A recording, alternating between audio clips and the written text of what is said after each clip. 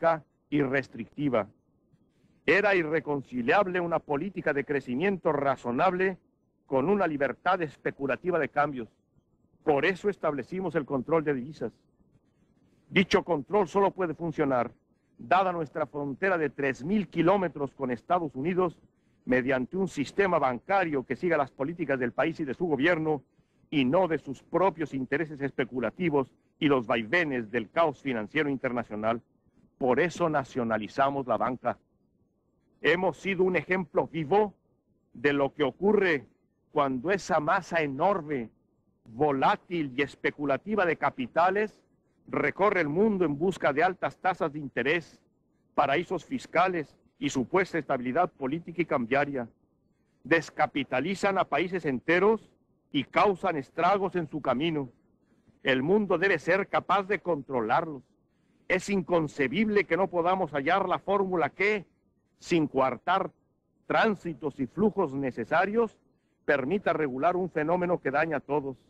Se hace imprescindible que el nuevo orden económico internacional establezca un vínculo entre el refinanciamiento del desarrollo de los países que sufren fuga de capital y los capitales que se fugaron, siquiera migajas de su propio pan.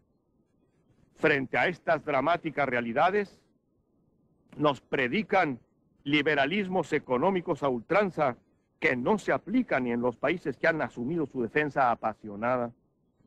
El peligro de la desnacionalización ha conducido, por el contrario, a muchos gobiernos, entre ellos al mío, a profundizar sus reformas económicas y fortalecer el papel de los estados como rectores de las economías nacionales. Son casos de legítima defensa. Nunca como ahora ha tenido mayor validez el principio de la soberanía sobre los recursos naturales y sobre los procesos económicos los términos de las viciadas relaciones que padecemos podrían conducir a la disolución de las propias soberanías.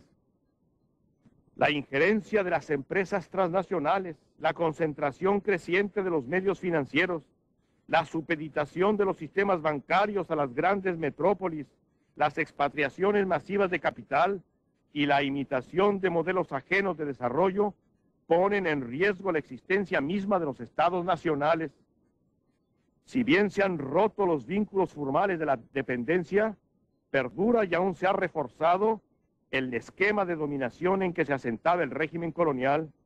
La concentración de la riqueza y del poder van en aumento a medida que vastas regiones del planeta continúan pauperizándose.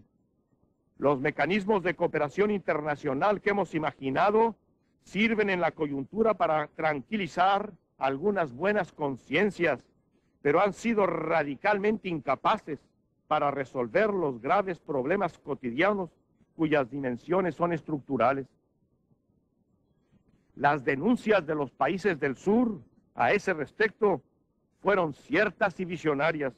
Al proponer un nuevo orden, pretendíamos una profunda reforma institucional capaz de reencauzar las relaciones económicas internacionales.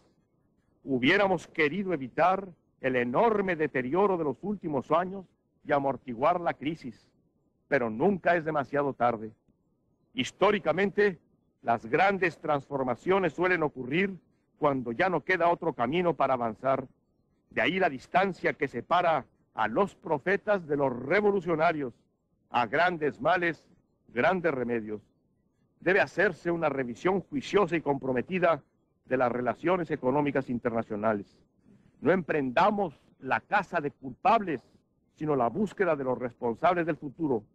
Dilucidar el origen último de nuestros males es tarea de inquisidores, no de gobernantes. Por ello, las negociaciones económicas globales deben ser la instancia que permita conciliar estos opuestos en fórmulas acordes con las necesidades del presente. Su convocatoria es urgente, su celebración inaplazable tampoco puede ser esgrimida como tesis para retrasar el diálogo la pretendida querella entre las agencias especializadas del sistema y la soberanía de esta Asamblea. Todas las organizaciones de las Naciones Unidas han sido creadas por nuestra decisión soberana. Todas poseen un marco jurídico que las regula y son respetables.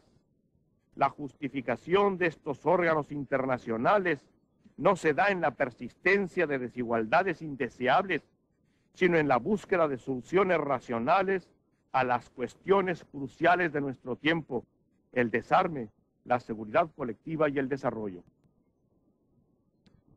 Señor presidente, la Organización de las Naciones Unidas y las naciones que la integran están en la encrucijada. No hay otro foro. Tenemos el que merecemos. Si no sabemos utilizarlo para salir de la crisis y establecer un orden, no solo más justo, sino sobre todo más acorde con su tiempo, no habrá otra oportunidad. Las negociaciones globales deben comenzar de inmediato, con seriedad y voluntad de llegar a acuerdos. La paz y seguridad mundiales están hoy más amenazadas que nunca. Debemos salvarlas cueste lo que cueste. La alternativa es peor que cualquier solución, que cualquier concesión. No podemos fracasar. Hay lugar al tremendismo.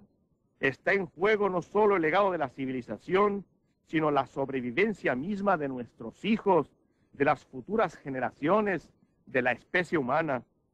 Hagamos posible lo razonable recordemos las trágicas condiciones en las que creamos esta organización y las esperanzas en ella depositadas.